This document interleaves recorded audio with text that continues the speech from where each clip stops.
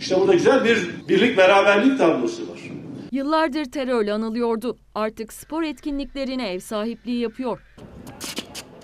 Türk Silahlı Kuvvetleri'nin başarılı operasyonlarıyla terörden arındırılan Şırnak'ta Judy Cup Ulusal Tenis Turnuvası tamamlandı. 11 ilden 138 tenisçi 2089 rakımlı Judy Dağı'nın eteklerinde 4 gün süreyle kıyasıya mücadele etti.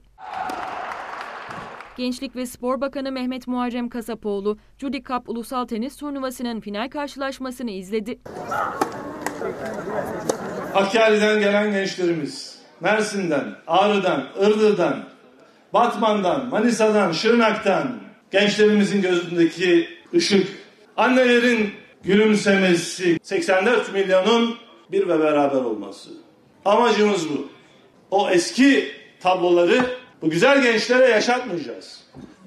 Karanlığa götürmek isteyenlere inat, bir olarak, beraber olarak, kardeş olarak koşacağız inşallah. Bakan Kasapoğlu, dereceye giren sporculara ödüllerini takdim etti.